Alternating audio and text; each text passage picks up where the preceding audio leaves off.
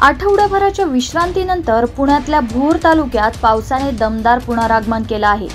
संध्याकाळच्या दरम्यान तासभर पडलेल्या मुसळधार पावसाने ओढे नाले तुडुंब भरून वाहू लागले आहेत.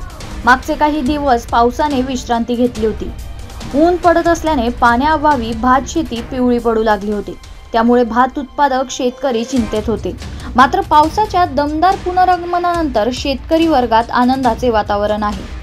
मागील आठवड्यात पावसाने दडी मारली होती. दिवसाचे तापमानही वाढत होते. अधूनमधून हलक्या सरी कोसळत होत्या.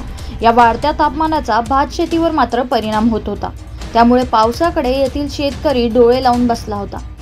अखेर काल मुसळधार पावसाने पुनरागमन केले. तर आणखी काही दिवस पाऊस बरसत राहणार आहे. विदर्भात सहा ऑगस्ट ते आठ ऑगस्ट दरम्यान मुसळधार पावसाचा अंदाज आहे. ढगांचा गडगडाट आणि विजांचा कडकडाटासह हा पाऊस बसणार आहे. तर मध्य महाराष्ट्र मराठवाडा कोकण आणि गोव्यासाठी आठ ऑगस्टपर्यंत मुसळधार पावसाची शक्यता आहे असे अनुपम कश्यप म्हणाले.